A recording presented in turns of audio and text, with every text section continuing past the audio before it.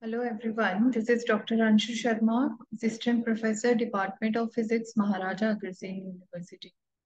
Today I'm going to give presentation on the topic nanomaterials and their applications. What are nanomaterials? The materials having one exterior dimension between 1 to 100 nanometer are known as nanomaterials. Nanomaterials can be made by combustion processes. They can occur naturally or they can be purposely manufactured through engineering to carry out a specific function.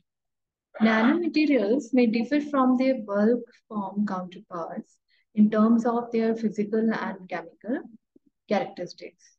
Nanomaterials are already used in our day-to-day -day lives. Examples range from titanium dioxide mineral nanoparticles in our sunscreen and self-cleaning surfaces to mobile, pigment nanoparticles injected into soldiers' uniforms to improve camouflage, to baseball bats made from carbon nanotubes. Nanomaterials are used in a wide range of sectors from healthcare and cosmetics to environmental remediation and air purification, since they may be produced in a precise man uh, manner to perform a particular function.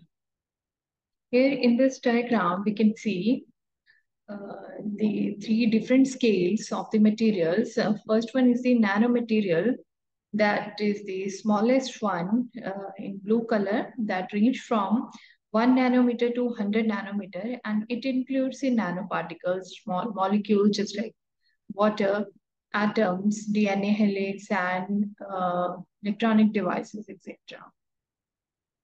And uh, the middle one you see, uh, micrometer scale that uh, range from 100 nanometer, above 100 nanometer to 100 micrometer. And it includes human hairs, bacteria, blood cells, etc. And the largest scale is the macro scale, macro macromaterial that includes grain of sand, volleyball, Eurocoin, etc.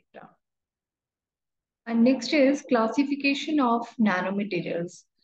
Nanomaterials can, can be classified as natural and artificial nanomaterials based on the origin of materials. Natural nanomaterials uh, include your minerals, that is clay, natural uh, colloids like blood, milk, etc., fog, aerosol type, gelatin, gel type, bone, hair, and uh, DNA helix, etc. These all these are the examples of natural nanomaterials. The second one is the artificial nanomaterials. They include carbon nanotubes, semiconductor nanoparticles like quantum dots, buckyballs, polymeric micelles, liposomes, and uh, artificial DNA nano structures, nanospheres, nanocomposites, nanotubes, etc. All these are the examples of artificial nanomaterials. Second classification is based on the dimensions of the material. Uh, on the basis of dimensions, nanomaterials are uh, classified as zero-dimensional. They include nanoparticles, fullerenes, etc. And uh, one-dimensional nanostructures, we have nanotubes, nanohorns, etc. And in two-dimensional nanostructures, we have nanosheets, nanolayers. In three-dimensional nanostructures, we have nanowires, arrays, and nanotubes, etc.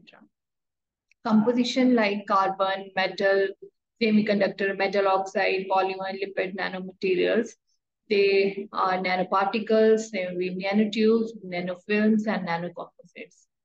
Like dimensionality, zero dimensional greater than 100 nanometer, one dimensional greater than 100 nanometer, two dimensions, nanofilms are in two dimensional range that is greater than 100 nanometer, and three dimensional nanocomposites, etc. Next is properties of nanomaterials. The nanomaterials have various properties. They change when scale of the size uh, reduces to nanoscale. And uh, the various properties like mechanical properties, thermal properties, melting point, optical properties, magnetic, electrical, chemical properties, catalytic properties.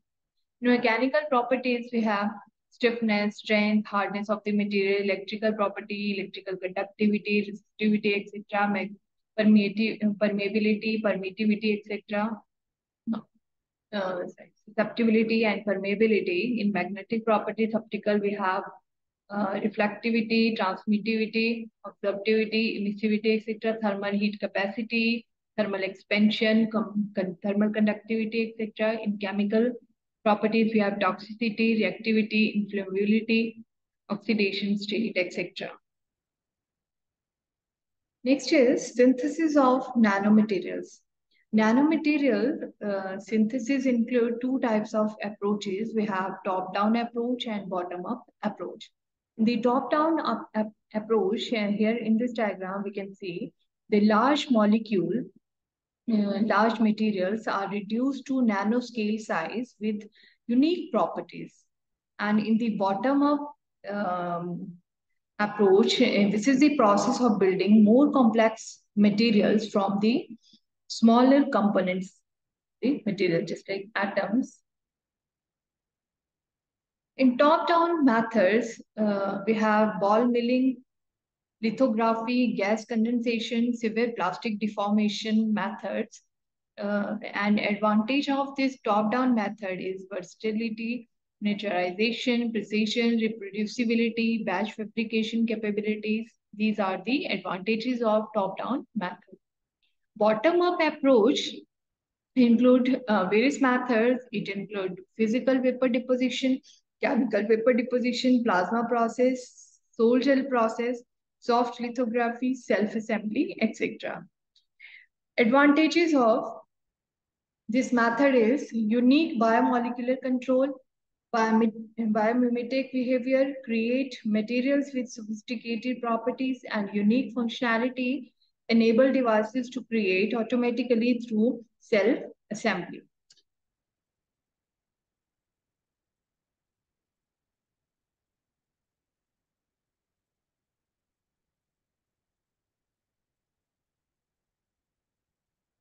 Next is synthesis of nanomaterials using natural sources. Uh, nowadays, uh, the eco-friendly approach is the green route or green chemistry of nanomaterials that includes natural sources like flowers, roots, fruits, leaves, and uh, bacteria, algae, fungus, yeast, etc. All these can be used for the synthesis of nanomaterials. This is the this reduces the toxicity of the chemical compounds. And uh, here we show the process of um, synthesis of green nanoparticle, biological extracts. Firstly, we have, and they will be added to the metal solution. And uh, here we can reduce the reduction uh, reaction. Here we can adjust the pH of the material, temperature, pressure, etc. And after stabilization, after capping, we get the synthesized green nanoparticle. Now, applications of nanomaterials in various fields. Nanomaterials can be used in health sector, biomedical applications for renewable energy, for environmental remediation, energy storage, for construction on materials, food packaging and processing in agriculture, we can use the nanomaterials. In food industry, nanoparticles like silver mixed with polymers are used to enhance the quality of food packaging material, thereby increasing its uh, shelf life, making it last longer and taste better. Furthermore, smart packaging through which biological changes occurring in the food are detected is also one of the significant application of nanotechnology. Keeping in mind the assurance of food safety, various applications of nanotechnology are involved in agriculture and agri-business.